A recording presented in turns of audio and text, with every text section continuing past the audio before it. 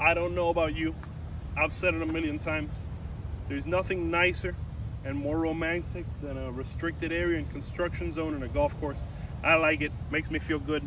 Makes me feel that people know they're not safe when I've got a driver. And speaking of drivers, I did want to talk to you about the Callaway Rogue driver. Um, I got this one. I also got the TaylorMade Stealth.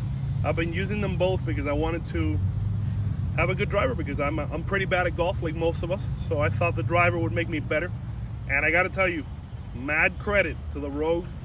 Um, as my driving has been progressing, I still come out to in crazy, like crazy amounts of out to in. It's not pretty to see, but this one does have a lot of settings. So I was able to set it to draw, increase the loft by one, do a lot of things. And now at least the ball is somewhere in the vicinity of the fairway.